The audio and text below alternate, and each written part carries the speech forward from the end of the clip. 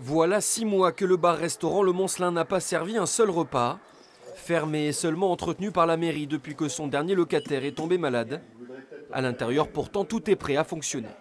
Donc, partie restauration qui, peut contenir euh, une bonne soixantaine de couverts. Vous avez ici la partie cuisine, euh, flambant neuve, hein, euh, casinière, friteuse, lave-vaisselle, tout, il y a tout. Tout ce qu'il faut. Tout est neuf, il y a tout ce qu'il faut pour travailler.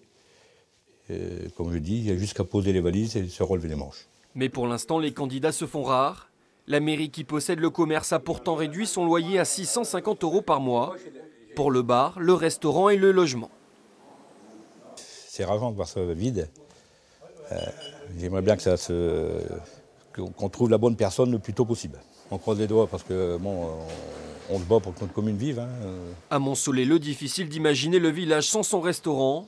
Il y a cinq ans, la mairie a investi près de 200 000 euros pour le construire et en faire un lieu de rencontre qui manquait à ses habitants. Quand je suis arrivé, moi, il y a 35 ans, il y avait encore trois cafés. Et puis là, euh, c'est mort depuis, bah, depuis que le petit Camille il a pris sa retraite. il n'y a plus rien. Ça fait deux, deux personnes qui sont venues, puis que c'est- tombé à l'eau comme ça, c'est vraiment dommage. Espace vert, euh, terrain de boule, euh, l'été, petite table à l'extérieur, c'est super. On, on demande que qu'à faire venir du monde.